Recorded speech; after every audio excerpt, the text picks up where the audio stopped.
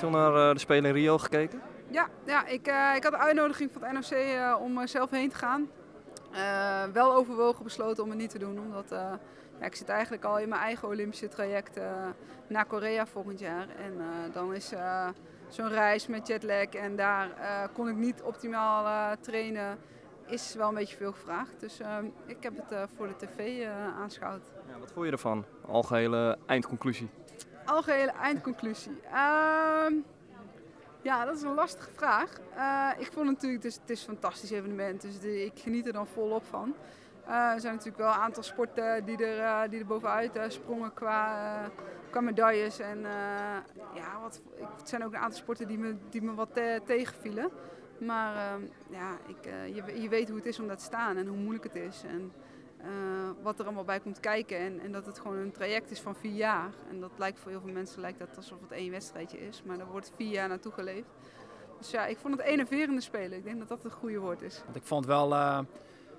Nou, dat, dat voor, de, voor de Olympische sports in Rio, daar ging natuurlijk wel meteen een sausje overheen met het hele Vergelder verhaal. En als ik dan terugblik op onze spelen in, uh, in Sochi, dat ehm, ja, de 5 kilometer was op de eerste dag. En daar hadden we meteen ja, goud, zilver en brons. Een 1, 2, 3'tje. Ja, dat gaf een onwijs boost aan de hele Nederlandse equipe. En natuurlijk is de, de winterspelen, ja, de meeste medailles werden gewonnen met schaatsen. Maar als ja, als Nederlandse ploeg is dat gewoon onwijs opsteken. Dus je kunt of denk ik zo'n spelen heel goed beginnen of, uh, ja, of met, met 1-0 achter staan. En, maar ondanks dat vind ik dat ze, dat ze het heel knap gedaan hebben om dat, om dat om te draaien. En dat het toch nog ja, hele verrassende resultaten uitkwamen.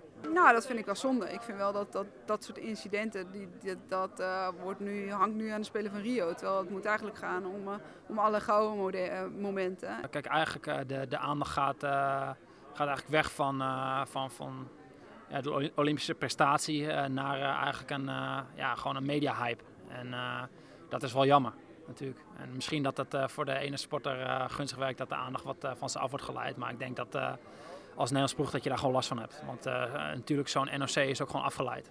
En ja, in Sochi stonden alle neuzen dezelfde kant op en het was gewoon een geoliede machine.